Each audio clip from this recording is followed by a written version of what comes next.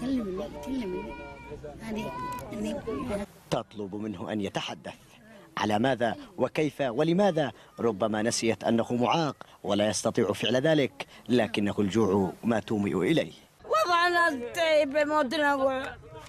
وأنا والمعاوقة يا ولدي كلني قال شظايا ضاري وقالي عندما تكون الحياة شائكة بالجوع والمتاعب. هكذا تحكي الجدة نعمة السبعينية العمر وهو حال مئات الأسر بل الآلاف من أجبرتهم الحرب على النزوح من منطقة الدريهم بالحديدة. هربا من الموت ومن نجا من رصاص وقذائف الميليشيا لم يفلت من عذابات النزوح هذه.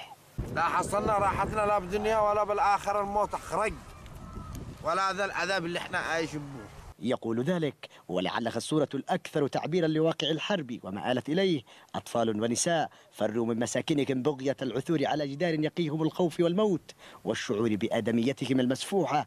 وإلى هنا كان لهم أن يتوقفوا عن الركض وتستقر بهم يوميات النزوح. إحنا من أبناء الحديدة أبناء الدريمين. قصفت الميليشيات لا فوقنا الحوثي. لا فوقنا بالرصاص والضرب. هربنا بأطفالنا جينا على خط البارح والمخاو مشينا قدام قدام. إحنا الأطفال حقنا والعجوز والمعوقة وهذا.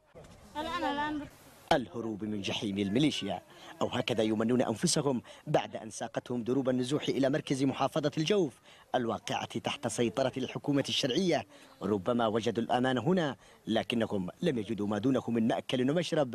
وسط هذا العراء المفتوح أمام أوجاعهم وخيباتهم الكثيرة وبانتظار يد العون والإغاثة التي وحدها ما ستخفف من معاناتهم كما يقولون.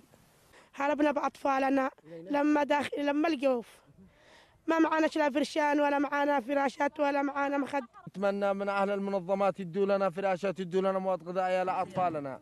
يدوا لنا خيام إحنا هلكنا من البرد أطفالنا هلكوا منظمة. على هذه الأرض تسيل أوجاع نازحي الحديدة ومثلهم الكثير من تشردوا ونزحوا عن ديارهم.